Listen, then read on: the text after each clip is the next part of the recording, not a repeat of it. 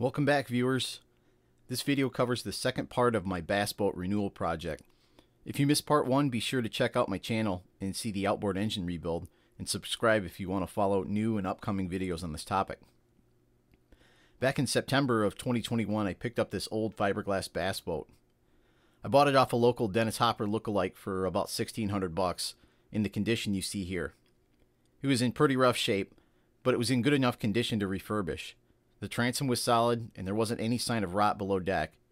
There were some rough spots in the fiberglass, and the top coat paint job was pretty sketchy, but it was a project that I was confident I could turn around in a reasonable amount of time.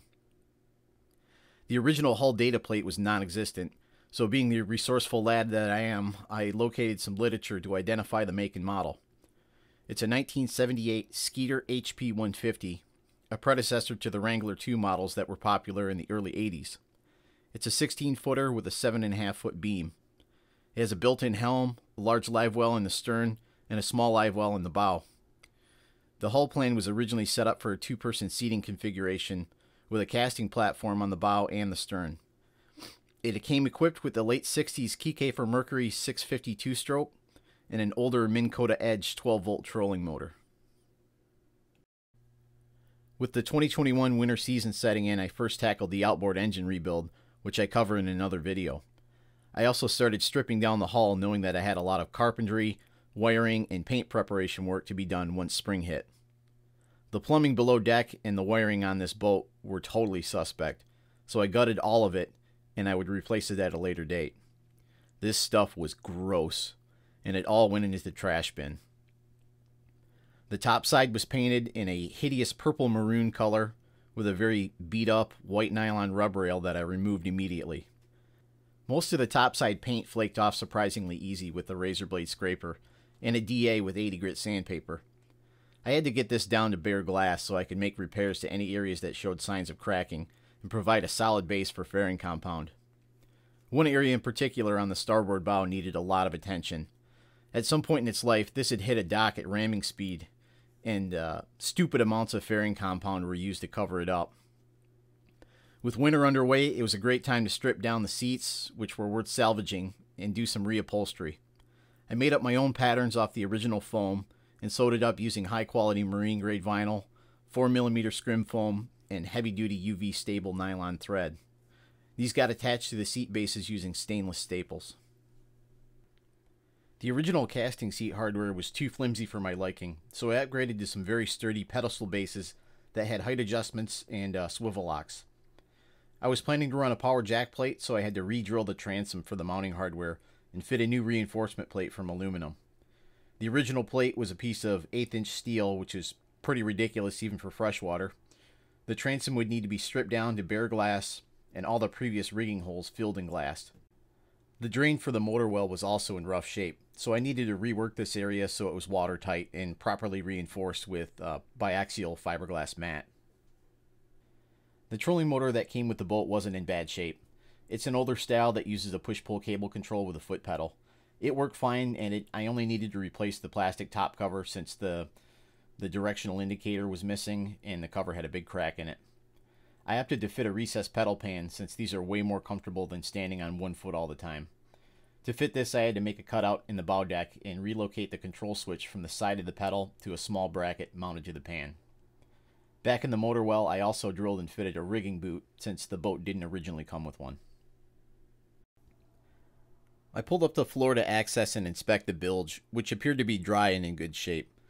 The floor decking, however, was not it hadn't been properly sealed and it was secured in place with drywall screws to the stringers, so it was pretty much rotted out. I ripped it all out and added it to the scrap pile. This allowed full access below the deck so I could clean, degrease, and apply several coats of high quality epoxy bilge paint. On the helm, there was originally a blown out 5 inch speaker and a shore power plug these got tossed, and I added two new shore power plugs to provide easy hookups for my new onboard battery chargers. One is for the house battery bank, and the other was for the trolling motor battery bank. The original single speaker was mounted in a really bad location, so I opened up the glass around it and fitted in a watertight access panel that would house a proper fuse block that was dry and easy to access. The outboard had come with an original style cast aluminum Merc control box. Uh, it was a pretty nice unit, uh, pretty retro, but it wasn't mounted properly, and honestly, it was too far gone to salvage. I found a more modern Quicksilver replacement unit that had unmolested wiring, a kill switch, a built in rocker switch for power tilt, and also new throttle and shift cables. A much needed upgrade. The gunnel near the helm station was really clapped out. Aside from the Swiss cheese of holes uh, that were drilled into it, it looked like somebody had gone after it with an angle grinder. So I had to roughly locate where I needed to mount the new control before I dug deeper into stripping down the paint and then resurfacing all that panel substrate. While I was in there, I went ahead and located and fit out a new set of marine speakers uh, that wasn't so cheesy, and it fit perfectly right inside that space in the gunnels. The hull registration numbers had to go also.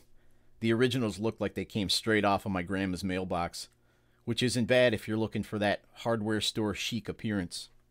The replacements were professional vinyl cut and they were colored to match the final paint scheme. Behind the pilot station, there's a compartment where I mounted one of the onboard chargers and a tray for the starting battery. This charger will support the starting battery as well as the two deep cycle house batteries that are mounted further back in the bilge compartments. This was a perfect location for a battery disconnect switch, a much needed safety improvement that allows you to isolate or combine banks of batteries if needed. All connected with appropriately sized marine grade wiring with waterproof crimp connections and a separate fuse block to manage the loads located in the bilge. Two new live well pumps were fitted, one for each live well, and they use Flow-Rite three way valves. Two bilge pumps were also added for redundant bailing. One is a manually toggled unit from the helm, and the second is a high flow backup that operates automatically with a built in float switch. On the port side stern, there was more Swiss cheese to contend with. The original bilge vents had been removed at some point and they stuffed rod holders in their place. This was not to my liking. So knowing that I needed to do a lot of glass work back here, I fitted out an anchor plate and I cut out a new location for some bilge vents. The anchor unit is a Minn Kota Deckhand 40 power winch. At this point I continued stripping paint and doing some rough carpentry work to update the floor plan.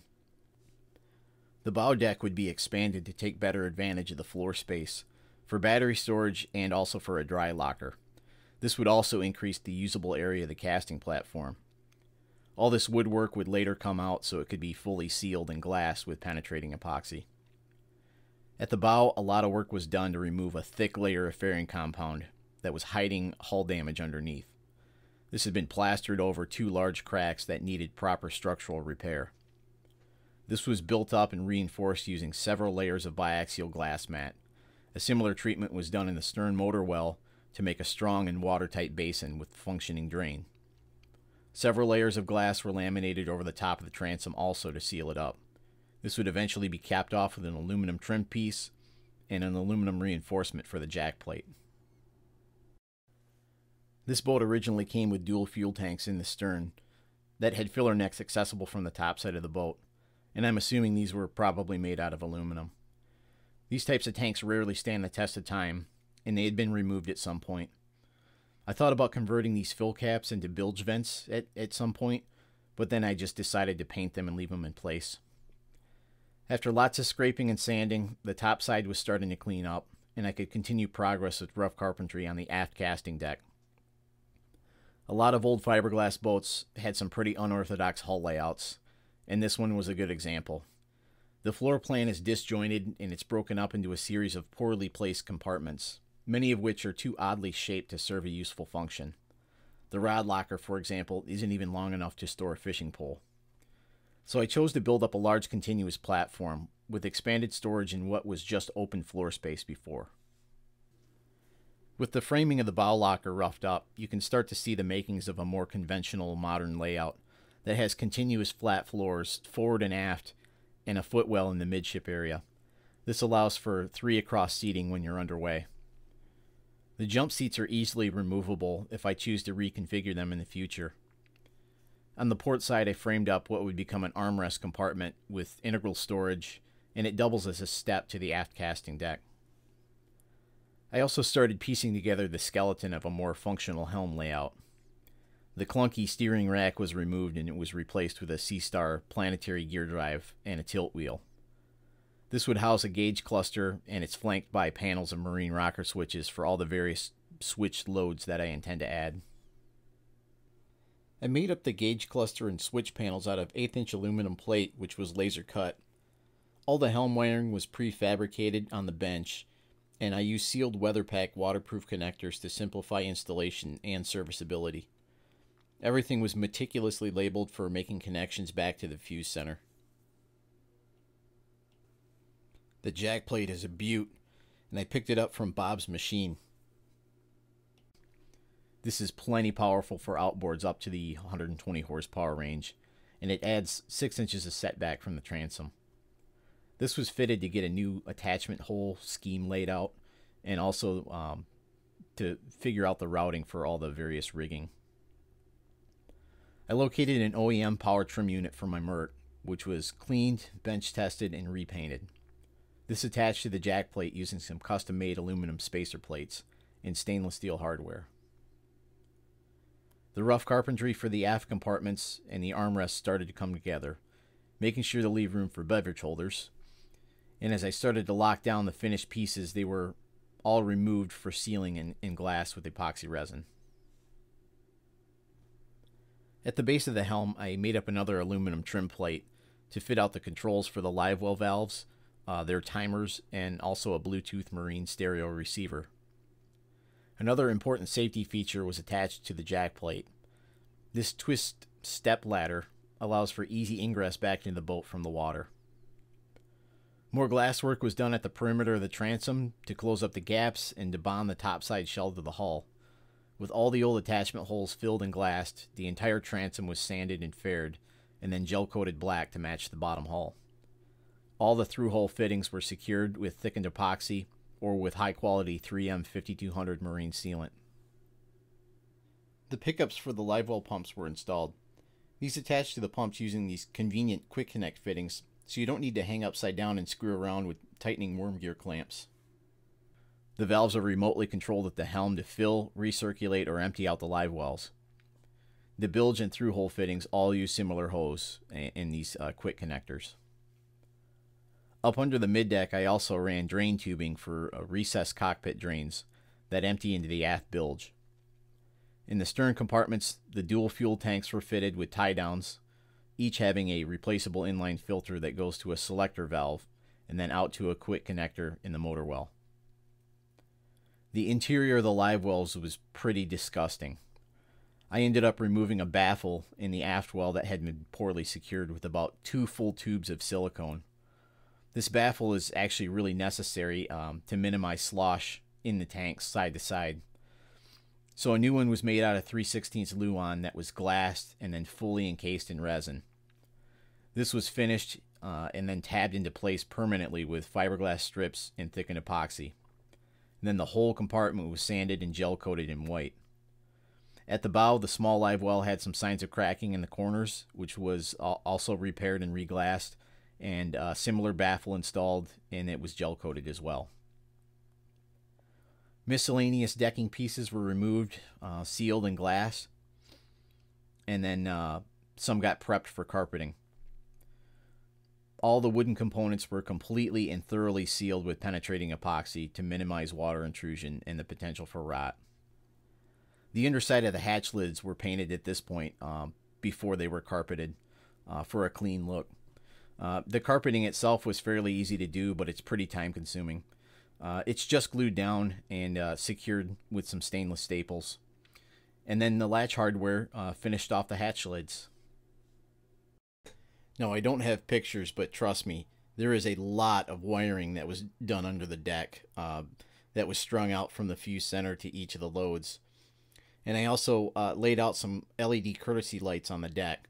These are really cool because they have a very low power consumption and they can be configured for a whole bunch of different colors. The carpeting continued on all the modular parts, hatch lids, bulkheads, and the armrest, and then all of these eventually received stainless steel piano hinges. The armrest turned out really nice. I was pleased. It was carpeted throughout, and I added a power port, um, so if you wanted to store your phone in there, you could charge it.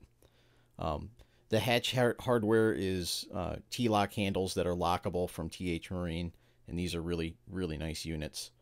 Um, in all, I was really pleased with how this deck layout uh, ended up, and it was really clean and smooth once it got all carpeted with uh, special attention to all the gaps.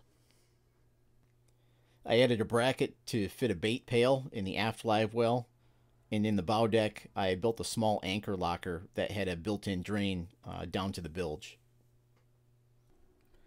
At this point, I was uh, pretty satisfied with the helm layout. So that was finished up by a, a coat of uh, fiberglass, um, some resin, and then a coat of what's called Rondo. Um, so that's a mixture of resin and fairing compound, or you know, body filler like Bondo. Um, that provides a really thick but smooth surface uh, that does a great job of filling and blending, uh, and it sands out way better than just resin alone. Uh, once I was satisfied um, with all that surfacing work, the helm was permanently attached using stainless screws, and then it was uh, filleted with thickened epoxy and then tabbed into place uh, with the existing helm using some fiberglass strips.